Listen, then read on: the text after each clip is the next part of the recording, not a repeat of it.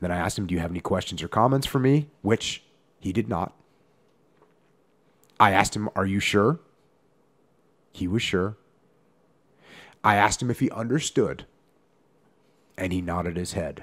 And again, the reason I'm reading these is because these are my actual notes. And then I said, Do you believe I am right? Or do you just think I don't, or do you think I just don't get it and that you actually know what's up?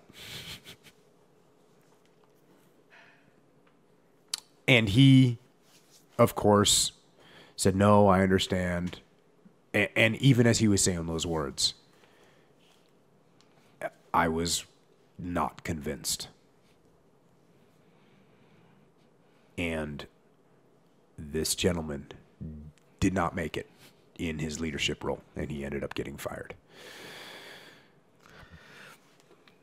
When he said he that he understands, was it like, was he all salty? Like, yeah, I understand, man. No, I mean he was he was not dis not he was not openly disrespectful.